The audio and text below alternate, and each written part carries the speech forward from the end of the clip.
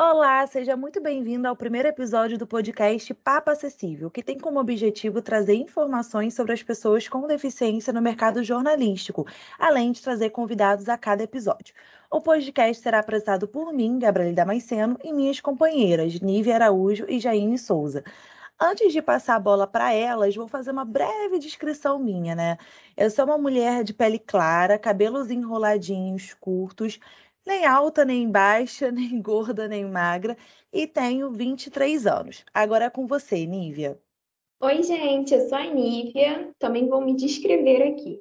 Eu sou parda, tenho cabelos castanhos e longos, meus olhos também são castanhos, né, castanhos escuros, é, meu rosto é um pouquinho oval, e eu tô bem animada para começar esse primeiro episódio. Oi, meninas! Oi, pessoal de casa!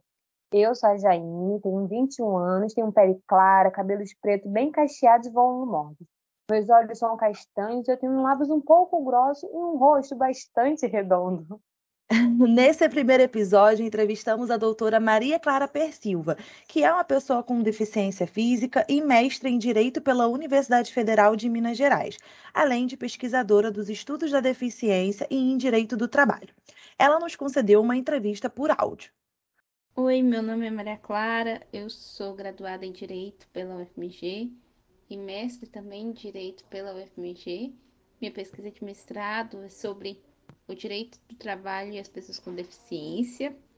Eu sou cadeirante, tenho pele clara, cabelos castanhos ondulados.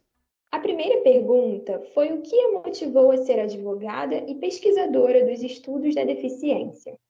Mais me motivou mesmo foi essa escolha por trabalhar com pessoas, trabalhar com a vida das pessoas e tentar trazer um pouquinho de transformação social mesmo no mundo e para quem precisa. Pesquisar e trabalhar com direitos de pessoas com deficiência é, veio, a, no primeiro lugar, por conta da minha própria deficiência. Eu sou uma pessoa com deficiência, eu sou cadeirante desde os 15 anos. E por viver as barreiras que a sociedade impôs a mim, impõe a outras pessoas com deficiência, eu pude perceber a importância da gente falar sobre o tempo, sobre esse tema, pesquisar sobre ele e tentar transformar o mundo ao nosso redor um pouco mais inclusivo. E durante o curso de direito, essa essa sensação de que a gente deve procurar justiça e direitos iguais me fez cada vez mais me aproximar do direito das pessoas com deficiência. Eu sou atualmente eu trabalho com direito do trabalho, mas pesquiso e, e lido também com direito das pessoas com deficiência e eu acho que a minha principal motivação é tentar fazer com que as leis que hoje existam, existem possam ser aplicadas e que as pessoas com deficiência possam cada vez mais ter seus direitos garantidos, é, que a sociedade possa se tornar cada vez mais inclusiva e cada vez menos capacitista. Sobre essa última palavra utilizada pela doutora, capacitistas, o capacitismo é um termo usado para descrever a discriminação e a opressão contra pessoas com deficiência, que abrange desde a acessibilidade até a forma que a sociedade trata essas pessoas. Agora, retornando à entrevista, a doutora Maria Clara nos relata sobre o não cumprimento das leis trabalhistas para pessoas com deficiência, como a lei de cota. O que eu posso dizer é que, dentro do direito do trabalho, é, os casos mais recorrentes costumam ser de não cumprimento da lei de cotas por parte das empresas. É, hoje existe uma lei, é, provavelmente vocês já devem ter pesquisado sobre ela, que é a lei de cotas, que garante uma reserva de um percentual de vagas para pessoas com deficiência, a depender do número da empresa. Então, empresas com mais de 100 empregados, elas são obrigadas a contratar um determinado percentual de pessoas com deficiência, dependendo do tamanho dessa empresa. Só que hoje, é, muitas das empresas não cumprem com a cota. Para vocês terem uma ideia, de acordo com a, relação, a relação anual de informação social do Ministério do Trabalho de 2019, somente 53% das empresas que tinham a obrigação de contratar uma pessoa com deficiência cumpriam a cota e preenchiam as vagas destinadas a essas pessoas. Então, hoje, apesar da gente ter, de acordo com um último estudo do IBGE mais recente, aproximadamente 13 milhões de pessoas com deficiência no Brasil, só, só existem 700, mais ou menos 700 mil postos de trabalho preenchidos por pessoas com deficiência. Então, a principal causa de ajuizamento de ação na Justiça do Trabalho hoje pelo Ministério Público do Trabalho é contra empresas que não preenchem esse, essa cota para inclusão para, para inclusão e contratação das pessoas com deficiência nas empresas. Em seguida, foi perguntado se há muitas empresas inclusivas e, se não, o que ela acha que deveria ser feito para mudar este cenário. Hum, não, são pouquíssimas as empresas que, que, que são realmente inclusivas e que têm programas que estimulam a inclusão, que estimulam a contratação, o aperfeiçoamento das pessoas com deficiência dentro delas. É, Para mudar essa realidade, eu acho que a primeira coisa é fortalecer a lei de cotas que já existe porque o fato de pessoas com deficiência serem obrigadas, é, de existir a obrigação de contratar pessoas com deficiência, faz com que as empresas sejam obrigadas a ter essas pessoas no seu quadro de pessoal, e ao ter essas pessoas no seu quadro de pessoal, elas acabam sendo é, levadas a mobilizar a equipe, mobilizar o ambiente para que ele se torne mais acessível para aquela pessoa.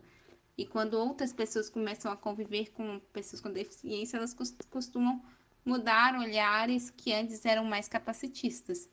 Então é importante que as pessoas com deficiência elas estejam dentro das empresas, elas estejam nos ambientes de poder, para que esses ambientes mudem e para que os ambientes sejam cada vez mais inclusivos e que as pessoas percebam e possam é, percebam a capacidade dessas pessoas e possam desmistificar essa visão distorcida de que as pessoas com deficiência muitas vezes não são capazes de viver, de trabalhar e de ter uma vida como qualquer outra pessoa.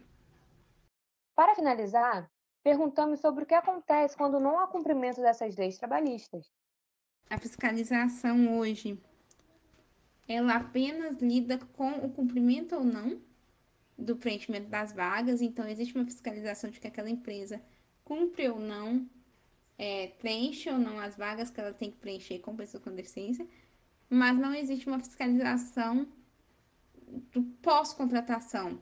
Se aquelas pessoas que foram contratadas estão incluídas, se aquelas pessoas é, estão nos cargos que ela, nos cargos compatíveis com a qualificação que elas têm, se o ambiente de trabalho é inclusivo ou não. Então existe essa falta de fiscalização nesse sentido. E um outro grande problema é que as multas hoje aplicadas às empresas é, são multas que não são muito altas. Então, muitas vezes as empresas elas preferem se arriscar e não cumprir com a legislação para não ter que fazer mudanças de acessibilidade, de inclusão que demandarem algum dinheiro. Nem sempre, mas em alguns, algumas vezes as demandam esse tipo de esforço. Elas preferem descumprir e correr o risco de ter que pagar pela multa, porque a multa não costuma ser muito alta. Então, eu acho que existe uma necessidade de mudança dessa fiscalização.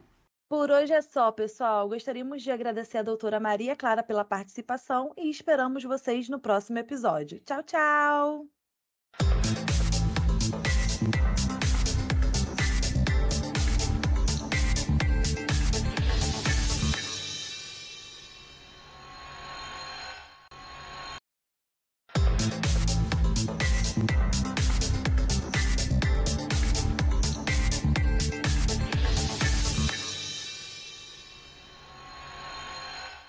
Olá, seja muito bem-vindo ao segundo episódio do Papo Acessível. Eu sou a Gabriela Damasceno e, como vocês sabem, eu já tenho 23 anos, tenho pele clara, cabelos ruivos desbotados, né, meio enroladinhos, assim, batendo nos ombros, tenho olhos castanhos escuros e tô com um piercing bem grande aqui no meu nariz.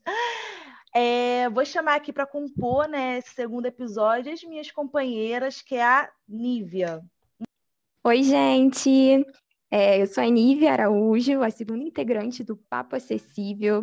Tenho 24 anos, sou parda, tenho cabelos castanhos e longos, meus olhos também são castanhos, né? Meu nariz é um pouco larguinho, meu rosto é um pouco oval, e eu estou muito animada para começar aqui a nossa conversa. Agora vou chamar a nossa terceira e última integrante, Jaine. Oi, Jai! Oi! Ai, gente, eu estou mega animada para esse papo de hoje. Bem, eu sou a Jaine Souza, tenho 21 anos, minha pele é bem clarinha, como eu já comentei com vocês, meus cabelos são pretos e bem cacheados e volumosos. Meus olhos são castanhos, meus lábios são um pouco grossos e meu rosto é bastante redondo. Oi, gente. Para começar né, esse, primeiro, esse segundo episódio, nós trouxemos o jornalista, radialista e professor Marcos Aurélio de Carvalho. Seja muito bem-vindo, Marcos. Olá, olá, Gabriele, olá, Nívia, olá, Jaine, Ajay. É uma honra fazer parte desse segundo episódio, integrar esse segundo episódio e conversar com vocês três que são estudantes. É uma honra para nós também, né, Marcos? Nós pegamos até aqui um pouquinho o seu currículo, então deixa eu falar um pouquinho né, de quem é Marcos. Foi o primeiro repórter esportivo com baixa visão do rádio brasileiro foi gerente executivo e apresentador da Rádio Globo de São Paulo. Na rede CBN, Marcos apresentou o programa CBN Total em Rede e foi coordenador nacional de esporte da emissora. E há três anos, o Marcos atua como produtor, roteirista e apresentador dos veículos de comunicação da ONC, a emissora web da Organização Nacional dos Cegos no Brasil. Marcos, é um grande prazer é, ter você aqui. É, e já vamos para a primeira pergunta, né? Nesse seu currículo imenso, que a gente ficou, a gente ali na pesquisa a gente ficou bastante impressionada. Então, a primeira pergunta é: o que te levou a escolher o jornalismo? Mas antes vou me descrever também. Eu sou um homem branco, de cabelos, uma parte grisalhos, já que eu já estou com 61 anos, outra parte ainda guarda um pouquinho do castanho escuro, que é a cor original do cabelo. É, uso óculos com lentes bem grossas, na verdade, esse é apenas um dos, dos meus quatro pares de óculos, né? Que eu uso um para cada coisa, porque eu tenho baixa visão, sou cego total do olho direito, eu perdi meu globo ocular direito inteiro é, com glaucoma secundário que eu tive de nascença, perdi meu globo ocular direito inteiro quando eu tinha sete anos de idade, aí no Rio de Janeiro, no subúrbio de Inhaúma, onde eu nasci. É, então, uso uma prótese no olho direito e tenho 10% de visão no olho esquerdo. Eu vejo tudo nitidamente, só que longe, pequenininho e tremido tremido como se o mundo estivesse sempre num, num grande terremoto. Para responder a pergunta por que a paixão pela minha profissão e pela minha luta? Bom, pela minha profissão, porque meu pai consertava rádios e TVs no subúrbio dava defeito em televisão ou rádio na região de Inhaúma, Del Castilho, é, Engenho da Rainha, Tomás Coelho, chama o seu Hélio. Então, meu pai era que consertava, meu saudoso pai, que morreu em 2019, era que consertava os aparelhos de rádio e televisão no subúrbio. Então, a minha casa era rodeada de rádios e TVs por todos os lados. E quando meu pai queria testar se um aparelho que ele consertou estava realmente bom, ele dizia, Marquinhos, Elinho, ouçam aí esse, esse rádio aqui, esse aparelho de rádio aqui por alguns dias, se tiver Bom, ouçam uns três dias. Se tiver bom, é porque realmente está resolvido o problema, eu devolvo para o freguês. Então, eu me apaixonei porque foi um contato com o mundo. E aí entra o segundo motivo. O segundo motivo é nós, pessoas com deficiência visual, somos muito apaixonadas por rádio, porque é, a leitura, para mim, por exemplo, era muito cansativa. Eu não tinha, eu só fui ter esses óculos especiais a partir da quinta série até, aliás, a partir da virada da quinta para a sexta série, quer dizer, até a quinta série, o começo da quinta série, a professora Tia Marli, do subúrbio de Inhaúma, Tia Marli Machado, ampliava as letras dos textos à mão para mim. Ela e a minha mãe, que coincidentemente também se chamava Marli, Marli de Almeida. Então, é por isso que eu me apaixonei por rádio e é por isso que eu me apaixonei pela luta pelos direitos das pessoas com deficiência e contra o capacitismo. Você falou sobre capacitismo, então pegando esse gancho, eu queria perguntar para você dos seus principais desafios, né, que você enfrentou na sua vida por conta da deficiência visual, como você já falou aí, o capacitismo. Então, nos conta mais um pouquinho sobre isso. Pois é, nós, é, pessoas com deficiência, temos que enfrentar essas, essas dificuldades, esses desafios o tempo todo. Mas eu não estou sozinho, né? São tantas e tantas histórias vitoriosas no meio tão complicado né, para nós, no meio tão fortemente capacitista, que é o, o, o, meio de comunicação, quer dizer, os meios de comunicação ainda tem, ainda tem até hoje, mas era muito pior na época em que eu entrei. Ainda tem até hoje preconceito. Mas você eh, reparem, por exemplo, a Fernanda Honorato, que tem síndrome. Vamos falar de outros pioneiros, não fica parecendo que eu estou só fazendo autopromoção aqui. É, vamos falar aqui, homenagear a Fernanda Honorato, a primeira repórter com síndrome de Down do Brasil, que está até hoje, né? desde, desde o início é, dos anos 2000, na, na EBC, na, na TV Brasil, antiga TV educativa. É, é, a Fernanda Donato é repórter, entrevistadora, é, nasceu no Rio de Janeiro, se eu não me engano, ela continua morando em Brasília, tem síndrome de Down e é uma brilhante é, é, profissional. Vamos falar aqui da, da Flávia Sintra, que tantas e tantas reportagens no Fantástico, que é cadeirante e é repórter. Fala aqui do Felipe Augusto Diogo, que foi meu aluno na Uni e que muito me orgulha como professor, porque ele é o, é, o primeiro caso de comentarista. Eu fui o primeiro repórter, né? o Felipe é o primeiro comentarista de futebol cego, trabalhando aqui no ABC Paulista. É, podemos falar do pioneirismo é, de tantas e tantas outras pessoas que, que vencem barreiras, que ultrapassam barreiras, mas não é fácil. Eu não vou dizer para vocês que é fácil. Acho que assim, quem nasce, quem nasceu do, dos anos 90 para cá, tem uma série de ferramentas e de, e de textos legais que facilitam o processo. Quando eu entrei na Rádio Tupi, é, Nívia, Gabriele e, e, e Jai, quando eu entrei na Rádio Tupi em 84, ainda era muito forte o preconceito e as situações que eu vivi foram incríveis, né? É, incríveis tanto as boas quanto as ruins. Por exemplo, teve um jogo que um famoso narrador pediu para inverter a meta. O que é meta? Meta, aqui em São Paulo a gente diz meta. Aí no Rio, é, vocês dizem, vocês, olha só, como eu moro aqui em São Paulo há 15 anos, já estou falando como paulista. Mas enfim, é, no Rio a gente diz ponta. É o repórter que fica atrás do gol. Aí tinha um jogo do Flamengo contra um time pequeno, se não me engano, era contra a portuguesa da ilha, no Maracanã. E eu estava escalado atrás de um dos gols. E o meu papel que foi assim durante oito anos, era complementar. Correu, chutou pela linha de fundo, Marco Aurélio dizia, pois é, ele tocou com a perna esquerda. Ali naquela posição teria sido melhor a perna direita. Linha de fundo 0 a 0 No placar, eu dizia o nome do patrocinador, né? No placar da cerveja XYZ.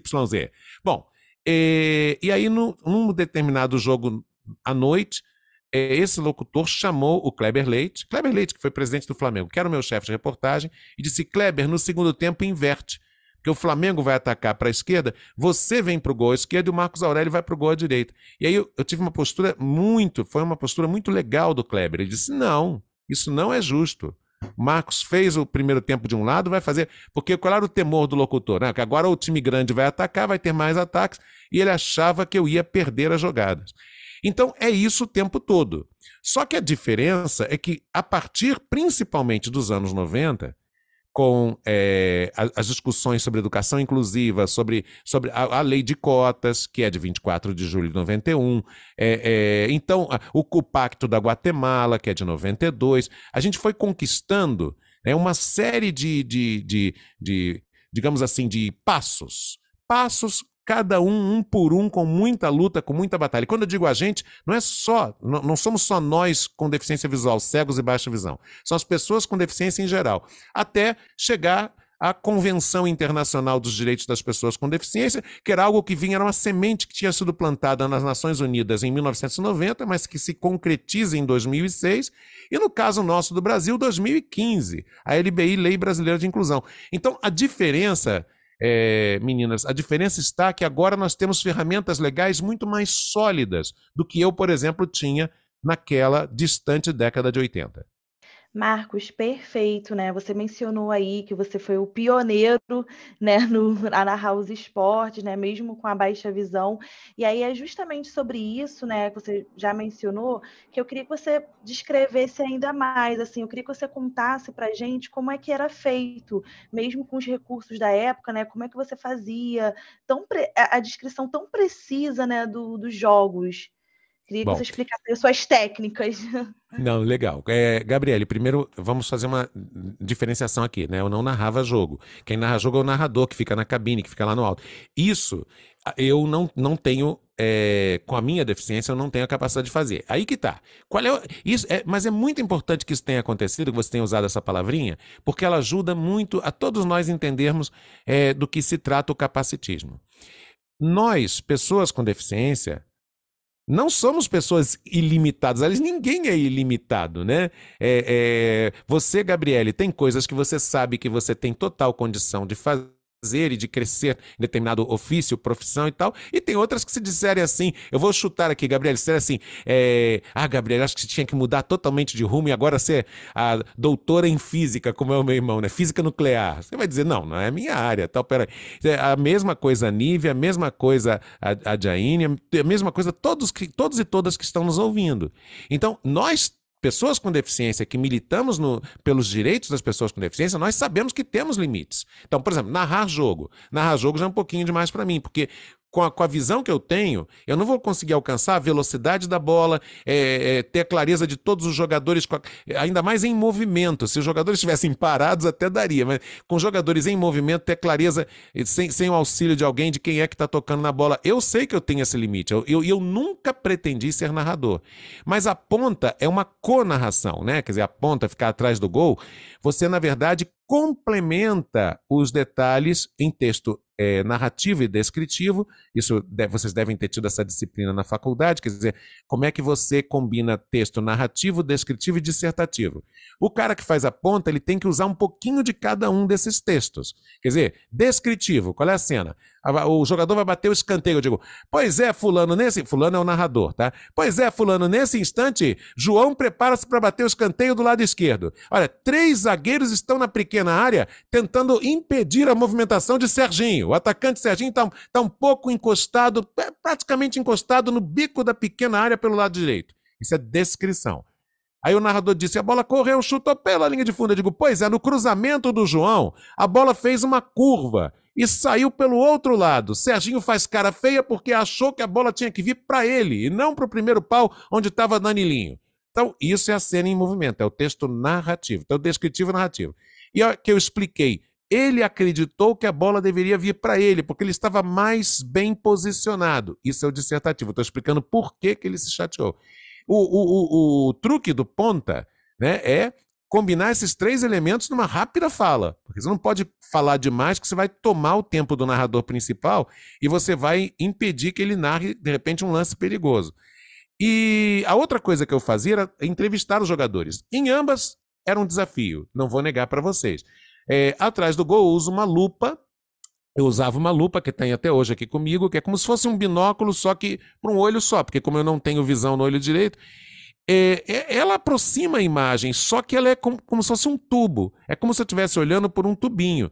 Então eu ficava, eu até já disse isso em algumas entrevistas que eu dei para reportagens de televisão, eu, eu, dizia, olha, eu ficava torcendo para os jogadores não fazerem lançamento longo. Porque se faz lançamento longo, eu, eu olhando. Imaginem vocês, eh, vou descrever para vocês, olhando por um tubinho. Façam um tubinho com a mão assim e botem perto do olho. Vocês vão reparar que vocês perdem o campo visual. Vocês só estão vendo o que está na frente frente de vocês. Então, esse era o meu grande desafio, né? Porque a lupa me dava uma visão tubular. E para entrevistar jogador, eu fazia um truque que era o seguinte: a gente, a gente aprende a se virar, dá um jeito, né? O, o, o, tá quase acabando o jogo, o árbitro vai apitar o final do jogo. E eu tinha que correr para um determinado jogador para ser o primeiro. Naquela época era, era isso, era uma briga, né? Quem é que vai entrevistar o craque do jogo? Então, como é que eu fazia? É, todo mundo em cima do Zico, geralmente. E o Flamengo tinha um jogador, aliás, um ídolo, né? Que foi técnico do Flamengo, campeão 2009, foi o treinador, o Andrade. O Andrade sempre dava ótimas declarações quando terminava o jogo. Ele fazia uma análise do jogo, ele dizia onde é que o time falhou. Então a galera ia no Zico, quando o narrador dizia, terminou o jogo, Marco Aurélio. Eu já tinha ficado dois minutos com meu olho fixado no Andrade. Eu, eu reconhecia pelo jeito de caminhar, pelo meião que estava mais baixo e tal. Terminava, todo mundo ia nos outros, ia pá, correndo. Andrade, o jogo. O que, que você achou? Não, realmente o jogo, não sei o quê. no geral, é uma grande luta, queridas. E eu vou contar para vocês e, e para você, é, ouvinte, você amigo, você amiga que estão ouvindo. É... teve muita coisa barra pesada no começo. Mas também, assim, de, de, colegas que. Porque é um ambiente muito competitivo e não tinha essa política de inclusão naquela época, né, anos 80. Então, tinha, existiam mesmo colegas que tentavam. Ah, tira ele, tira ele do jogo, ele não vai servir e tal. Mas também tive muito apoio. O papo está muito bom, mas precisamos encerrar por aqui. Mas calma, ele continua no próximo episódio. Tchau, tchau!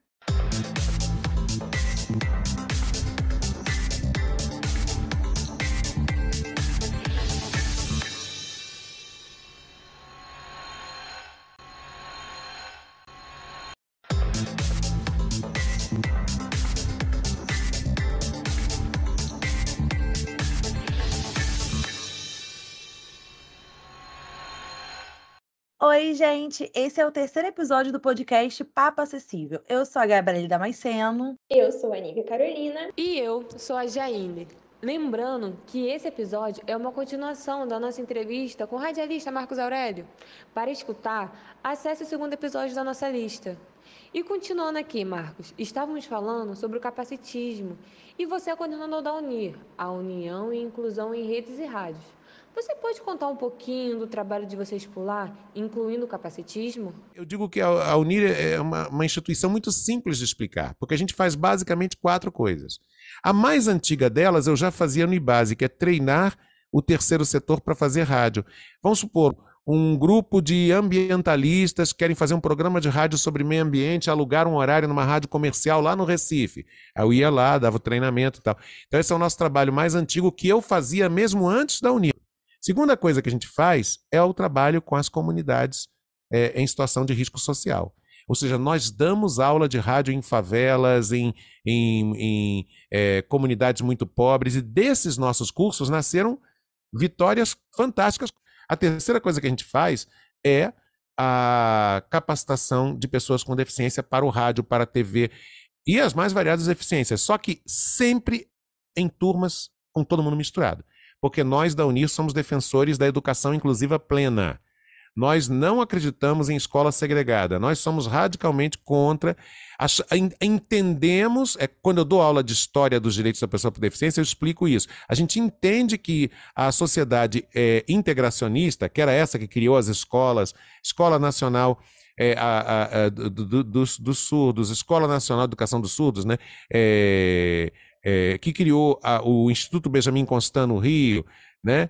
É, é, o Instituto Nacional de Educação dos Surdos, perdão, o INES, que criou o, I, o, IBC, o Instituto Benjamin Constant, que criou aqui em São Paulo o Instituto Padre Chico. Essas instituições tiveram um papel, tiveram uma importância histórica, mas elas tinham que mudar suas lógicas a partir dos anos 90, e aí seria longo de explicar aqui, que eu já debati esse assunto nessas instituições, em palestras, eventos, várias vezes. Eu é, e outras seis pessoas, talvez sejamos no Brasil os, os, que mais dão palestras. E a quarta coisa que a Unir faz é o Comunicador Integral, que é um curso inclusivo e integral é, para treinar pessoas que já estudam na faculdade, já estudam jornalismo, ou que já estão nos meios de comunicação, para que essas pessoas tenham uma lógica mais inclusiva no seu dia a dia. Ótimo. É, Bom, Marcos, nós vamos focar agora exatamente no meio jornalístico, né? É, nós estamos fazendo pesquisas há alguns meses, né, sobre as pessoas com deficiência nesse meio, e o que eu, Jaine e Gabi perceber, percebemos, né, é que existe uma escassez de informações sobre a quantidade de pessoas com deficiência no mercado. Então, devido a essa falta de dados, a gente é, nós nos focamos no que percebemos, né? Então, nós percebemos, nós vemos, né, que existem poucas pessoas com deficiência no jornalismo. Tem pessoas com deficiência, mas vemos poucas. Então, o que, que você acha que está faltando? O que, que você espera que melhore para termos mais jornalistas PCDs, né? pessoas com deficiência, nas redações, no jornalismo? É. O Brasil tem provavelmente umas 100 web rádios feitas totalmente por pessoas cegas ou com baixa visão. Mas eu de cabeça conheço. Olha, de cabeça eu conheço umas 30. Mas vocês estão se referindo aos grandes meios. E aí realmente vocês têm razão. Agora, o que é necessário para isso? Bom, primeiro entender que a história é processo. É o recorte, é, é, é, a história não pode ser recortada com recorte antropológico. O recorte antropológico ele é útil para é, percepção de, de um determinado momento, de uma, de uma determinada época e tal. Mas o, o recorte tem que ser histórico e sociológico, ele não é antropológico. O recorte, para você entender esse, essa história, é entender história como processo. Por isso que é fundamental entender história. Entendeu? É por isso que me assusta muito quando eu vejo um país em que muitas pessoas é, têm ranço, dificuldade de entender história, ainda mais jornalista, né? Porque história e a língua, o idioma, são as principais ferramentas do nosso trabalho como jornalistas. Né? Jornalista que não entende história nem idioma, aí fica complicado, né? Com o idioma você vai escrever, falar, e com a história você vai entender que os fatos eles são uma sequência que tem uma relação de causalidade. Existem é, é, muitos fatores que vão influenciando ao longo do tempo para que a gente tenha um caminho ou outro. Então, se a gente entender a vida pelo ângulo é, histórico e sociológico, a gente entende que avançamos. E aí, essa, essa frustração, Nívia, que com razão você deve ter sentido, puxa, que coisa. Ela deixa de ser uma frustração total e passa a ser um entendimento de que estamos num processo. Porque, convenhamos, é, nos anos 80 eu era o único repórter de rádio com deficiência visual. Hoje temos muitos. Então, existe um processo em curso. E agora sim a segunda parte da tua pergunta. O que é necessário para que a gente aperte o acelerador da história? Porque a, a, a história é um processo que aí a diferença entre você ser é, é, defensor de uma sociedade mais justa, igualitária e tal, ou você ser um conservador. O que quer dizer a palavra conservador? Você gostaria de conservar o modelo da sociedade como ele está. O é, que, que é. E aí eu não estou nem falando é, é, do, dessa coisa mais é, direita, esquerda, não. Estou falando do conservador, que geralmente é uma pessoa de direita, mas que ele quer mais. Ele, ele, quer, ele quer que a sociedade não mude demais, porque isso foge ao controle. Algo que muda demais foge ao controle seu. E aí, quando eu falo de quem defende é, é, avanços sociais, nem estou falando só de esquerda, não. Estou falando também de muitas. Existem correntes de direita que também são defensoras de direitos humanos, de democracia e tal. Essas correntes, vamos chamar, é, é um termo hoje em dia meio gasto, mas enfim, vamos chamar de progressistas. Qual o entendimento que elas têm em relação à pessoa com deficiência? O entendimento é de que a história é um processo e, portanto, cabe a nós apertar o acelerador da história. O que é apertar o acelerador da história? É pressionar para que as leis, as leis conquistadas, por isso que a gente sempre fala no, no movimento de pessoas cegas e com baixa visão, a gente fala em defesa e garantia de direitos. Né? Pressionar para que esses direitos sejam realmente cumpridos, pressionar para que aquilo que está na Lei Brasileira de Inclusão, que é de 2015, seja cumprido, pressionar para aquilo que o Brasil é signatário. O Brasil é signatário, né? o Brasil assinou a Convenção Internacional sobre os Direitos das Pessoas com Deficiência, que é de dezembro de 2006, o Brasil assinou em 2008. É, para que aquilo ali seja cumprido, então, quando alguém diz assim, ah, é, é, é a escola não está oferecendo vaga para aluno com deficiência, o quê? Como é que é? Nos anos 80, você podia, a escola podia rejeitar uma pessoa. A, a escolinha primária lá que eu estudei, a escola que eu estudei, meu ensino fundamental, ela podia, nos anos 80, dizer, anos 60, né, que eu comecei em 69 na, na, na escolinha Olavo Josino de Salles, na minha primeira série. Ela podia dizer, ah, não quero Marcos Aurélio aqui. Hoje em dia ela não pode dizer isso, porque existem leis que obrigam a escola a aceitar minha matrícula. Então, a história é um processo evolutivo. O problema é que essa curva evolutiva, ela não é, ela não é uma linha reta, ela é uma cobrinha, porque vai tendo retrocessos, avanços, retrocessos, avanços, retrocessos, avanços. E brinco com meus alunos que eu digo que tem sempre alguém puxando a cordinha para a gente retroceder. Então, pra, então vira uma cobrinha, assim, não é uma linha reta, porque tem, é, é sempre a luta de quem quer que a gente vá para trás com quem quer que a gente avance. E qual é a vantagem? A vantagem é que hoje temos recursos legais. Né? Temos textos legais, temos um arcabouço legal para isso. Hoje temos mais gente conscientizada de que isso é importante e mais gente que entende que é, segregar pessoas com deficiência é abrir mão de talentos. Super concordo com o que você fala, acabou de dizer, porque eu, além desse trabalho, né, nos motivar de alguma certa forma, é, eu sempre quis estudar Libras, entender mais né, desse, desse universo. E desde que eu comecei a estudar, é, a pesquisar, tudo ao meu redor mudou completamente. Tudo, tudo. É, desde de eu andar dentro de um transporte público até comprar um ovo no supermercado. Então, Você passa a enxergar a vida na perspectiva daquela outra pessoa. Com certeza. E, tipo, é realmente. O que você falou é um ponto perfeito. É, e como o que você. Eu já estou te elogiando. é, você, você disse que foi o primeiro, foi o pioneiro né, no, como repórter esportivo. É, certamente você inspirou outra, outras pessoas, outros a seguir esta profissão, mesmo que essa pessoa tenha algum, alguma deficiência de alguma forma. Né? Você também já explicou isso para gente. É, como você se sente se sentindo uma inspiração para essas pessoas? Me deixam bem emocionado, mas eu, eu, eu sou muito prudente com essas coisas para não deixar que elas subam a cabeça.